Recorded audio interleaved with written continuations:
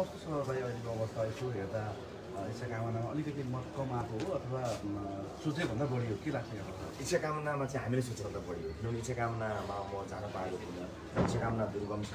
त्यहाँका मतदाताहरूलाई मेरो बारेमा थाहा छैन मैले आफ्नो बारेमा बुझाउन पाएको छैन। म निर्वाचित भयो भने के गर्छु भनेर हेर्नै पाएको छैन कति। समय कम भयो भर्खरै खुलेको पार्टीको सङ्गठन त्यहाँ केही पनि छैन। त्यो नहुँदा पनि हामीले अपेक्षा गऱ्यो भन्दा धेरै मैले इच्छा कामनाबाट हामीले अपेक्षा गरेको त दुई हजार पच्चिसभन्दा बढी त्योभन्दा बढी आउने सम्भावना भएको हुनाले अन्य ठाउँमा त पुगेको इच्छा कामनामा चाहिँ पुग्न पाएको थिएन। त्यसरी दुर्गम छ। धेरै कुराले सहज छैन र पुग्न नपाएको हुनाले मैले सोचे भन्दा इच्छा कामनामा बढिसकेको हुन्छ। अहिले जे आइरहेको छ त्यो अपेक्षाभन्दा राम्रो अपेक्षाभन्दा माथि हो। हेरेर हामीले हामीले अपेक्षा गरेर माथि हो। किनभने पुराना पुराना दलहरू पहिलेदेखि त्यहाँ सङ्गठन छ उहाँहरूको पुग्नु भएको छ चिन्नुहुन्छ उहाँहरूले। हामी नयाँ दल मलाई चिन्नुहुन्न उहाँहरूले। अब भनौँ न अब एउटा माध्यम इन्टरनेट थियो।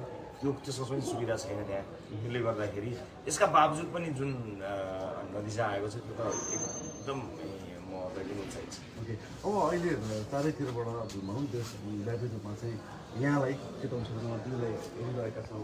दर्शनको रूपमा राष्ट्रिय स्वतन्त्र पार्टीको कस्तो खालको नतिजा आउने हो भन्ने खालको एउटा प्रतीक्षामा छन्। यहाँले चाहिँ अहिलेको यो प्रारम्भिक रूपमा हेर्दा कस्तो खालको नतिजा आउला जस्तो अनुभव गर्नु भएको छ यसो प्रारम्भिक कुरा चाहिँ? आम दाजुभाइ दिदीबहिनीहरूले देश विदेशबाट जस्तो अपेक्षा गर्नु भएको छ। मेरो विचारमा नतिजा त्यस्तै आउँछ। अझ त्योभन्दा राम्रो आउँछ त्योभन्दा। खराब आउँदैन एकदमै राम्रो। चितवनको सवालमा चाहिँ के छ दाइ? तिन तिनवटा क्षेत्र छ। तिनवटा क्षेत्रमै चितवनको एकदमै राम्रो छ। अब अहिले प्रारम्भिक छ। तिनैवटामा नै घन्टीको एकदमै राम्रो छ। प्रत्यक्ष समानुपातिक दुवैतर्फ घन्टीमय छ चितवन। अब हेरौँ हेर्दैछौँ। राम्रो हुन्छ नतिजा राम्रो आउँछ भन्ने लाग्छ। आई थिङ्क आज साँझसम्ममा त मोरलेस एउटा एउटा एउटा खाका एउटा एउटा कस्तो हुन्छ भन्ने कुरा देखिन्छ। एकदमै उत्साहजनक छ। समर्थकहरू बाहिर नारा जुलुस पनि गरिरहनु भएको छ। उहाँले एक किसिमले चाहिँ तपाईँको झन्डै पचास हजारभन्दा माथि मत ल्याएर जित्नुहुन्छ भन्ने किसिमको आकलन छ। यहाँले चाहिँ त्यो आकलन गर्नु भएको छ कि छैन? के छ? कति हजारले भन्दा पनि एकदमै राम्रो नतिजा आउँछ। हाम्रो पक्षमा आउँछ चिन्ता नगर्नुहोस्।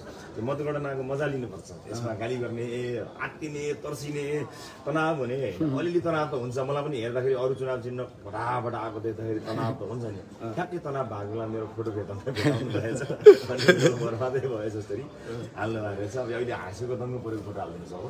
त्यस्तो केही छैन। त्यो हुन्छ नि तर त्यहाँ धेरै प्रतिक्रिया होला। फेरि चितवन चितवनवासीलाई गाली नगर्नु चाहिँ फेरि यहाँ दुख्छ। मलाई? अलिकति उदास भएको छ नि यो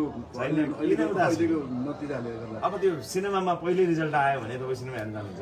अन्तिममा पो थाहा हुन्छ नि हिरोको इन्ट्री अन्तिममा हुन्छ भन्ने कुरा नि हो त्यसो भए। होइन कथाकै कुरा गरौँ न अब यो त भन्दा कथाको कुरा गर्दाखेरि पहिला रिजल्ट थाहा भयो भने त मजा हुँदैन नि त्यसले गर्दा यसलाई त यो मतगणना भन्ने कुरा त यो त एउटा एउटा उत्सव जस्तो पनि त हो नि आफैमा। के होला कसो होला के होला कसो होला त्यही हारे कि क्या हो जित्यो कि क्या हो लौ जित्यो लौ हारे। त्यही त हो नि मजा। यसको यसको इन्जोय गर्ने यसलाई धेरै चिन्ता गर्नु पर्दैन। तर यसको रमाइलो यसलाई- यसको मजा मात्र लिनुहोस्। यसलाई एकदमै धेरै गाली गलोजमा उत्रिएको चाहिँ चाहे कसैलाई पनि विपक्षीहरूलाई अन्य मसँग सँगै उड्नु दिनुभएका साथीहरूलाई कसैलाई पनि गाली गलोज स्वीकार नगरिदिनु होला स्पेसली चितवनवासीलाई गाली नगर्नु चाहिँ कसैले गाली नगर्नु होला त्यो मलाई मलाई गाली गरे बराबर। मलाई हजुर सभापति भएको हिसाबले पनि अहिले त काठमाडौँमा पनि त्यही खालको एउटा मत परिणामहरू आइरहेछ होइन डाक्टर कृष्णमा कार्कीको कुरा गरौँ सुविधा हिजोको कुरा गरौँ के छ काठमाडौँको मत परिणामले अ, कतै घन्टीको लहर ल्याउने कतिको सम्भावना देख्नु छ? एकदमै एक एक मात्र असफल देखियो अब उम्मेदवारहरू धेरै हुनुहुन्थ्यो एकको हकमा अब मैले धेरै मिलाउने कोसिस गरेको हुँ त्यो विषयमा म पछि मैले सबैभन्दा बढी समय दिएको सबैभन्दा बढी कोसिस गरेको क्षेत्र एक नै हो अब सबै उम्मेदवारहरूलाई त्यही ठाउँ चाहिने सबैलाई त्यही ठाउँ चाहिने कतिपय उम्मेदवारले पहिला नै डिक्लेयर गरिसक्नु भएको ठाउँहरू थियो पछि हामीसँग जोडिएका साथीहरू पनि हुनुहुन्थ्यो हामीले अब सबैको पहिलादेखि नै सबै माइन्ड मेकअप गरिरहनु भएको थियो। त्यसले गर्दाखेरि धेरै मान्छेहरू प्रतिस्पर्धा भयो। ठिक छ यो राजनीतिमा जित आएको त्यो कुरा होइन। समाजलाई योगदान दिने क्रमको निरन्तरता हुनु पऱ्यो। हामीलाई लस भयो एक। तर अँ,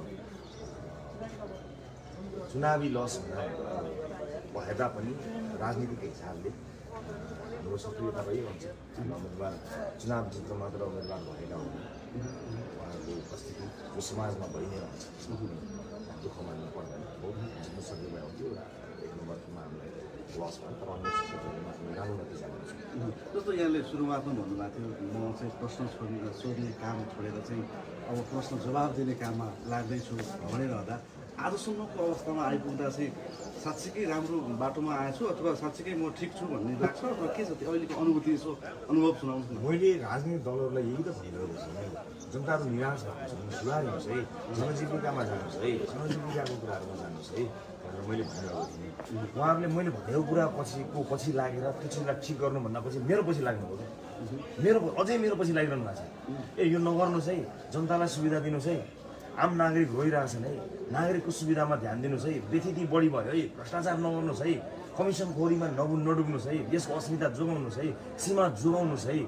राष्ट्रको स्वाभिमान जोगाउनुहोस् है। यसलाई नचढाउनुहोस् है। यो लड्न आँट्यो सम्हाल्नुहोस् है भने त्यो कुरा हेर्न जानु पर्थ्यो फेरि मेरो पछि लाग्नु अहिले पनि मेरो पछि लागिरहनु भएको छ क्या। मेरो म एउटा मान्छे नभएर के फरक पर्छ र?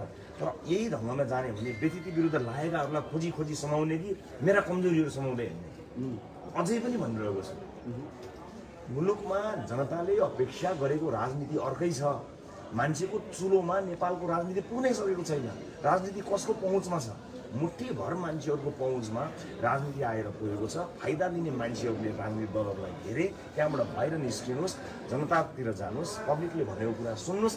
अब खराब मान्छेहरूबाट घेराबाट बाहिर निस्कनुहोस्। हेर्नुहोस् है बाटोघाटो खराब खराब भए वातावरण बिग्रियो युवालाई रोजगारी पाइएन सबै कुरा बिग्रियो। यो चाहिँ ठिक गर्नुहोस् ठिक गर्नुहोस् खबरदार खबरदार खबरदार भन्छु। मलाई पो खबरदार भन्नुहुन्छ उहाँहरू। अझै पनि मलाई खबर अझै पनि यसलाई यहाँ ओहो यो नागरिकतिर यार यसलाई हाल्न सकिन्छ कि भनेर मलाई हेर्नु भएको छ कि अझै? मलाई नहेर्नुहोस्।